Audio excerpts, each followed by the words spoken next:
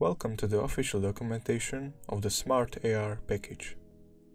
Smart AR is a complete real-time editor for AR applications in Unity.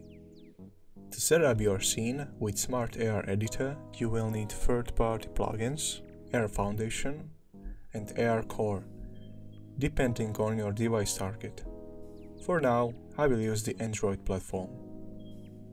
Create AR Session Origin and AR Session.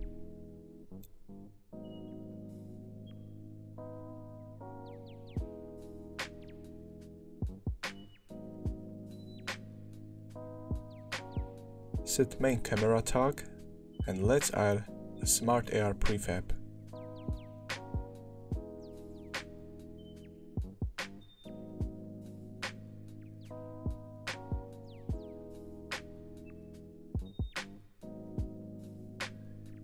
Now your scene is ready for Smart AR Editor.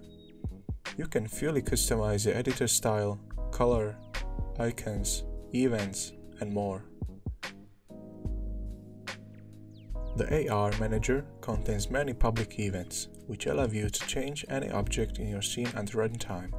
To specify some essential values on the AR Manager, assign the AR Session component.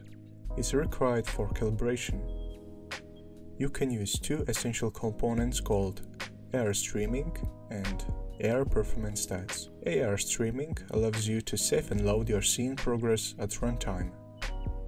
AR Performance Stats allows you to view your application performance.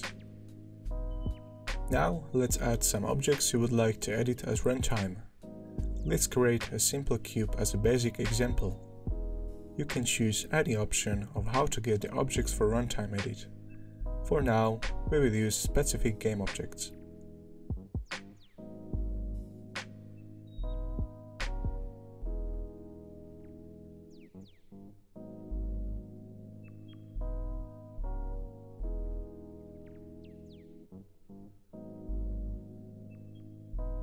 You are able to edit some multiplication values which controls how fast will object move, rotate or rescale in a real-time editor.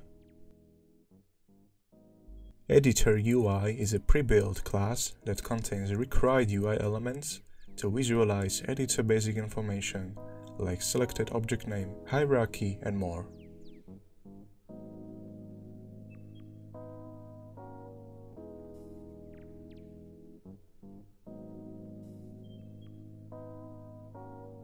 Calibration is very required for non-marker AR systems.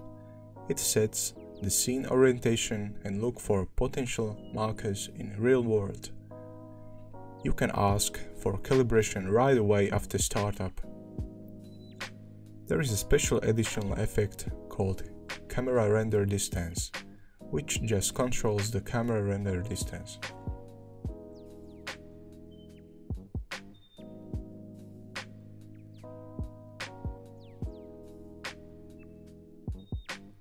There are some gyroscope conditions which controls your AR system in much deeper perspective. It's great if your application will be focused on some public events where people are not that technical and might lead to the decalibration. The first condition called steady time simply controls device when the user doesn't move with it.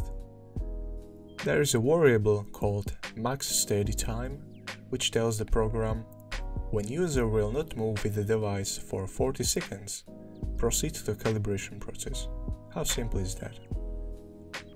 The second condition called zero gyro time controls device when user puts the device into zero gyroscope rotation or just puts the device onto the ground and gyroscope values are zero. This might decalibrate the application very quickly and calibration will be required. So it simply says that when the device will be in zero gyroscope values for 3 seconds, proceed to calibration process. These maximum values can be changed, of course, by your own taste. Smart AR also contains some additional tiny scripts which were used in public and commercial projects. They allow you to observe objects right in the front of the virtual camera and you can track UI elements, the 3D objects called trackers. They are mostly used for user information in AR applications and more. Thank you for your attention and I hope the smart AR will serve you well. Good luck!